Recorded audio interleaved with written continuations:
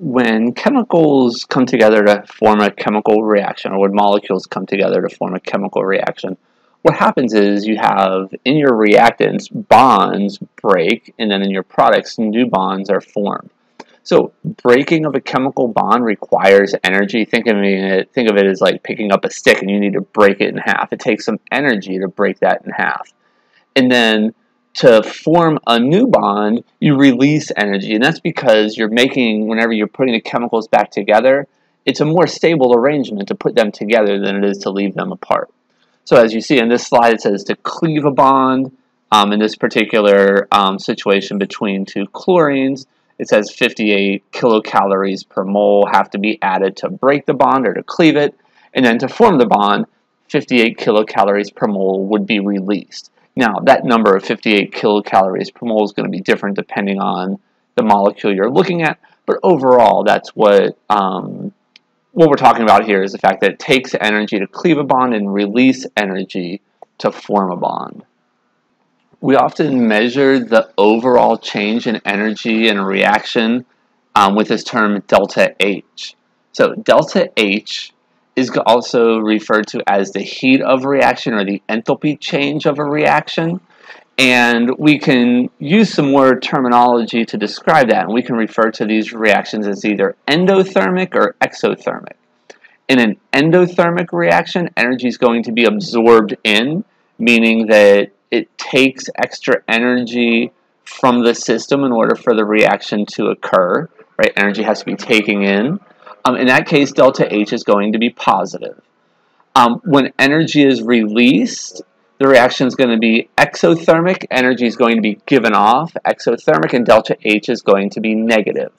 Um, in other words, we give off energy to the surroundings. A lot of times that energy would be in the form of heat.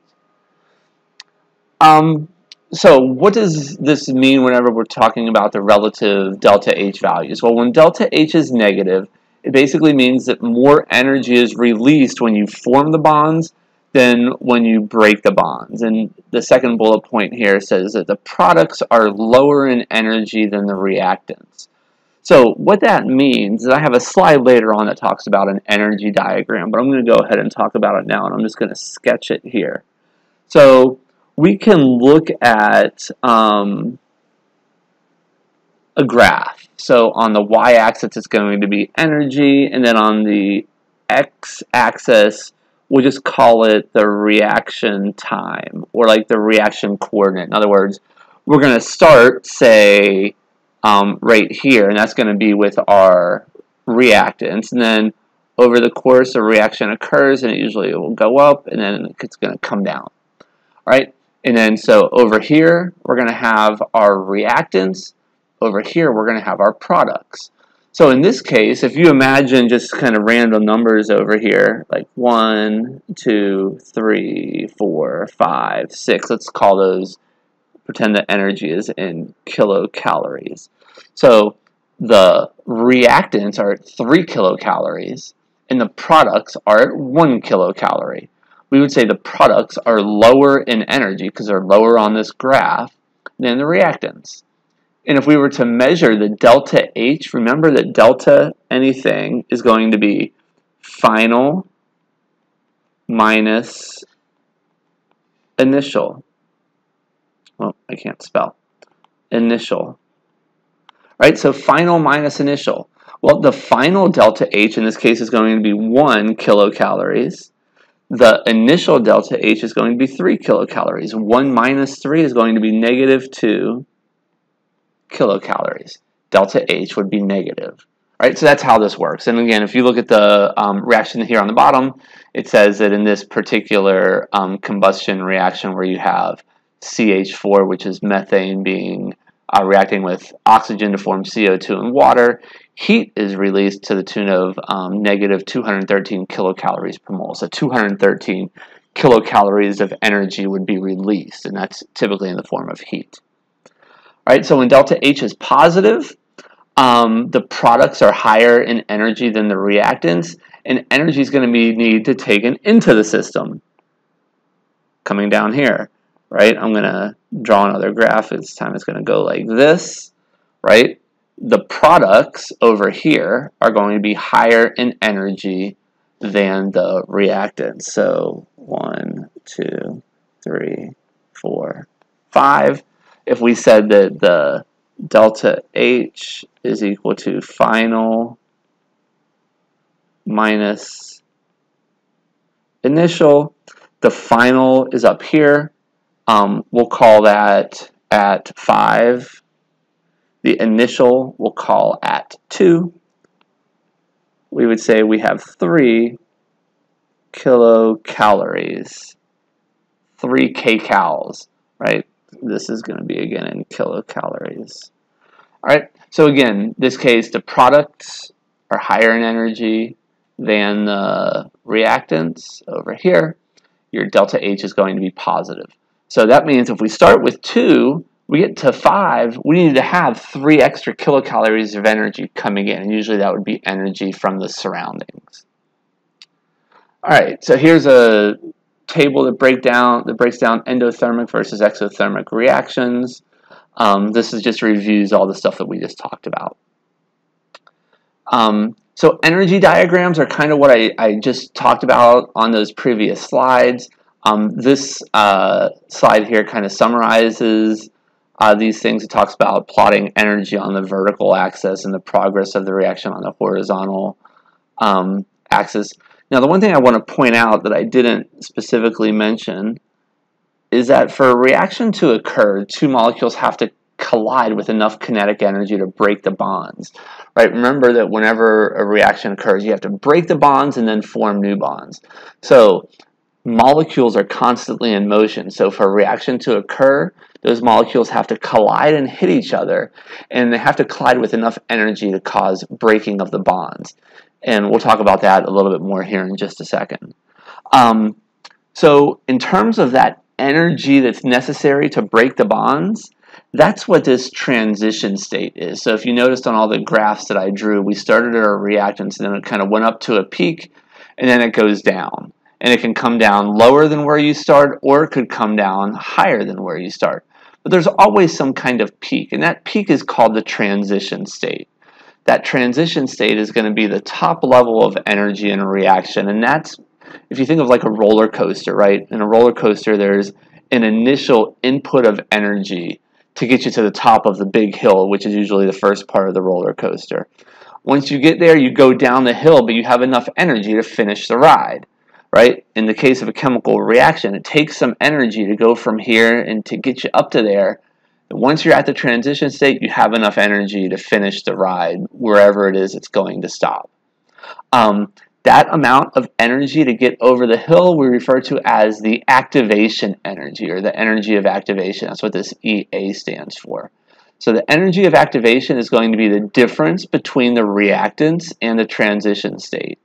So you, you would say, okay, it takes you know, five kilocalories of energy to go from here to there, and then it's going to go down to whatever your pro your products are. So delta H is going to be the difference between the products and the reactants, and the energy of activation is going to be the difference between the transition state and the reactants. Activation energy is the minimum amount of energy that the reactants have to have for reaction to occur. Um, the height of that transition state, right? So the height of this up here, the taller it is, the harder the reaction is going to be to occur, and the slower reaction is going to occur. So the second bullet point says that EA is can be thought of as an energy barrier, and the height determines the activate the rate of the reaction. Um, when the activation energy is really high, few molecules are going to have enough energy to cross that barrier, and it's going to be much slower than if it was lower. And um, if you can imagine yourself out uh, going for a hike or doing something like that, if you were walking around and there's a big old uh, hill in front of you, it takes a bunch of energy to go up the hill, and right, it might take you, depending on where you're at, probably not anywhere in Florida, but if you're climbing like a mountain out in you know the Rockies or something like that, it takes a lot of energy to climb up a big old hill. Um, now, if you compare yourself to Florida and what we might call a hill here, you might go up like three steps and you're at the top of it. It doesn't take a whole lot of energy to get over it, and you're going to be able to move through that pretty quickly. So again, the higher that barrier, the, the slower the reaction is going to occur. The lower the barrier, the more the easier it is going to be for the reaction to, to proceed and it's going to happen a lot faster. Again, if delta H is negative, the products are going to be lower than the reactants. It's going to be exothermic. Delta H is positive, the products are higher than the reactants. Delta H is positive. You have an endothermic reaction. Reaction rates, like the speed of the reaction we talked about in the previous video, um, can be, be determined by the height of the activation energy. Um, so how do we determine how easy it is for things to kind of uh, surpass that activation energy? Well, there's a couple um, things that are necessary. So one, you have to have uh, molecules collide, and they have to collide with enough energy to surpass that activation energy. So how do we make that happen?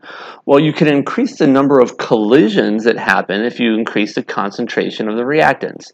If you imagine um, you have two uh, people walking around blindfolded in a very, very, very large room, um, they're probably not going to run into each other on accident, like without noticing.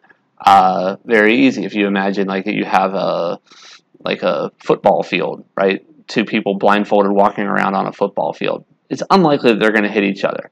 Now you put hundred people out there, right? The odds of them running into each other goes up a lot because they're more likely just to walk into each other because you have an increase in the concentration of the reactants. Um, so you're going to increase the number of collisions. The more collisions you have, the faster that rate is going to occur. Now, the other thing you can do is increase the temperature. So I can't use people for this one, but if you just imagine molecules, as you heat them up, they're going to move faster. Or I guess I can use people. So pretend that if you were to heat the people up, that they're going to um,